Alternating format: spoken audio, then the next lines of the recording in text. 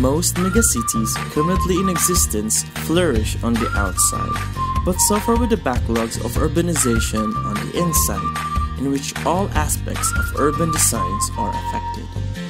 But in here, the case is different, as we focus on the industrial aspect and the people behind it. Davao City's ongoing rapid urbanization comes with a demand for production in its industrial zones.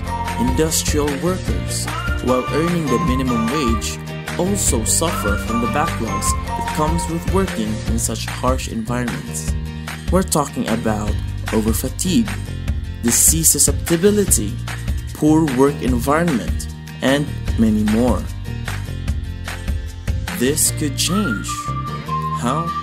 We can provide a public housing facility in proximity with the work environment and make it as habitable and as regenerative as possible through salutogenic design.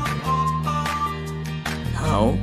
By placing them actively in the design process and having a conversation with them through the three phases of human centered design involvement and education, prototyping and iteration, simulation and integration.